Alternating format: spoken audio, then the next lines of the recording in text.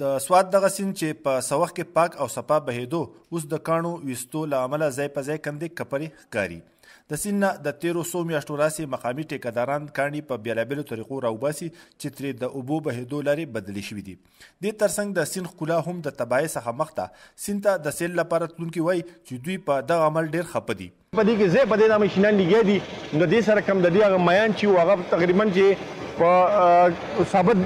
پاکستان کې مشهور میان او خواګه د ټاوټ په مقابله کې وو هغه بالکل ختم شو د دې خو شا په ټیم تبا شو ځکه په ټوته وبني شي خته غړ غړ پټي دي په موټر خواګه وبکیږي نو مخکې به دینه بناله راوته لختي موږ ته لختي وایو براوته باغې بلا بوټي وبکیدل دا پټي وبکیدل وس خواګه کیږي نو د دې سره پټو هغه دغم تبا شو او ډیر زیات نقصان وشو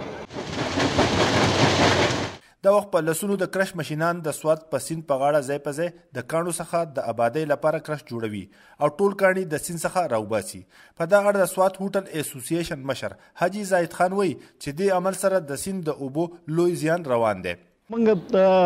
بار بار حکومت ته دا وایلي دي چې یاره تاسو د دې سوات لپاره داسې یو طریقه کار جوړ کړئ چې یو دا سوات سیند چینلایز شي چې په یو لاین باندې دا خلک لاړ شي او کانکوني کوي او دغه شګې باجرانې وباسي دا کاڼی وباسي نو هغې سره به دا سیند په یو لاین باندې شي د هغې نه به دا کوږ دا کم چې بهېده دي دا به ختم شي یا چې کم سیلاب راځي هغه اوبه به نه ډنډ کېږي هغه به ازادې بهیږي د هغې نقصانات به نه د سوات سیند خرابۍ، ګنده کولو او ځای په ځای کنلو په اړه د ملکنډ ډویژن کمشنر وايي چې دوی د قانون مطابق کارروایي کوي. دا مونږ ان شاءالله په دریاب کې به دا بندوو او بلکې مونږ بند کړی دی او دوی تقریبا څه باره پوائنټس ښودلي دي چې د هغه به باقاعده نیلامي کېږي او هغه داسې پوینټس دي چې هغه نه دریاب ته به نقصان نه کېږي، دریا ته به نقصان نه کېږي او د هغه ځای نه به صرف ایکسکیویشن کېږي.